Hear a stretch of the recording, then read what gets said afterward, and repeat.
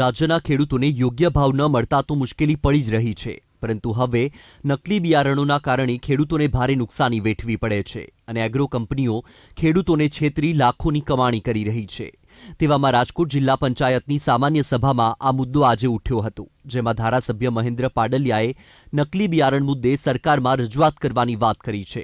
સાથે સરકારનું quality control વિભાગ નકલી બિયારણો બનાવતા અને વેચતા લોકો પર દરોડા પાડીને કાર્યવાહી કરે તેવી માંગ કરવામાં આવી છે. કે કોઈ પણ પ્રકારનું નકલી બિયાણ કોઈ વેચશે, એનું કોઈ પણ જાતનું મેન્યુફેક્ચર કરશે, તો એના માટે કડકમાં કડક કાર્યવાહી કરવામાં આવશે. એમાં કોઈ જાતનું શંકાને સ્થાન નથી. આ બાબતે આજે સામાન્ય સભાની અંદર મને આ ઉપસ્થિત રહેવાનો મોકો મળ્યો.